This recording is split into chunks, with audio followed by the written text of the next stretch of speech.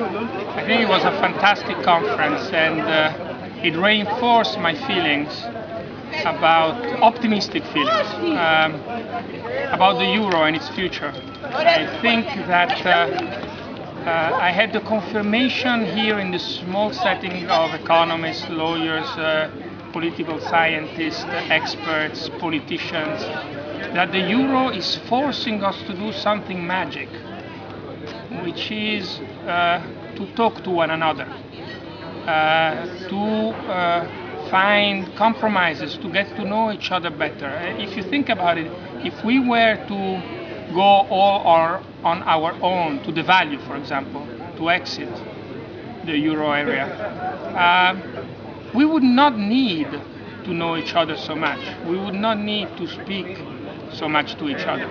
And remember that this is part of the reason why we're here with this euro currency, because we want a project of peace.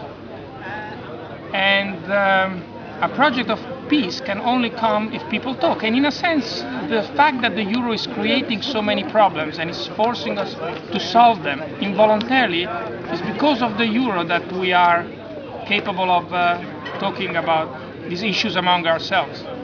Uh, the second thing that to me is pretty clear is that, and I've made so many mistakes, as I was saying in the conference, every time there is a political election, I forecast that the euro is going to lose, that people are going to vote against the euro, and every time I'm proven wrong.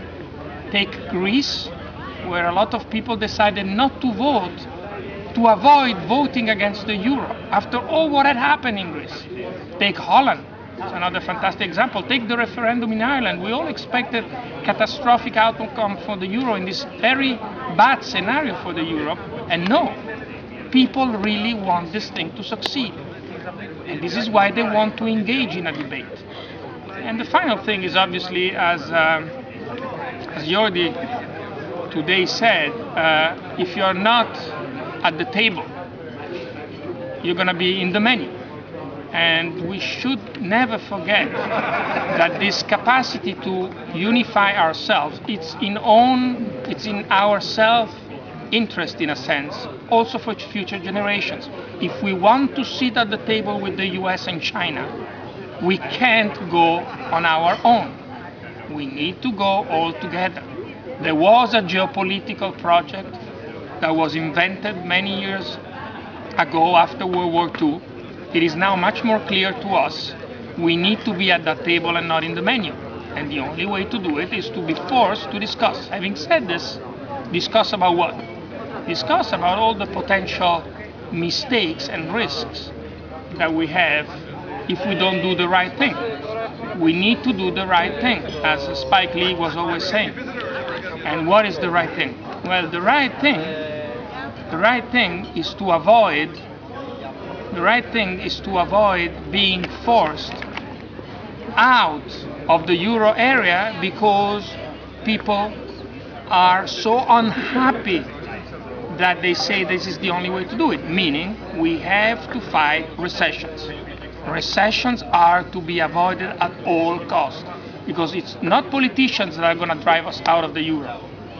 It is the people if they are unhappy and they have every right to do so. So politicians have the duty to stop recessions. Reforms are not going to be enough. Reform take too much time. The people can't wait. They don't see the solidarity in reforms. So we need a expansive policy. Which kind of policy? The ECB policy? The ECB policy can help, but it's not sufficient. It doesn't help enough. We need Germany and the northern countries in their own self-interest to be more expansive so that German workers can consume more, but at the same time that they consume more, Greek, Portuguese, Spanish, Italian firms can export more and reduce the pain of the recession. At the same time, we need to stop the stupid austerity in southern European countries. We don't need to do deficits, we don't need to be too expansive, but we certainly need to stop the restriction. If we are able in the next few years, and we have shown with the European Central Bank changing dramatically its course, that we can do it, that there's enough of an agreement to understand that recessions are a terrible thing that can destroy the euro.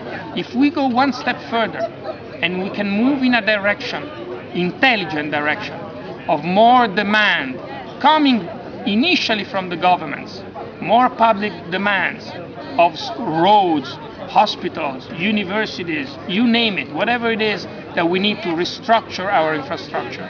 Then, when we will be out of this crisis, the reforms will kick in. We will have time to have governments go back to where they were, but we will have saved the most important project for the next 100 centuries, the euro, and at that point, we will read the menu, and it will be a lot of fun reading the menu and deciding what to eat.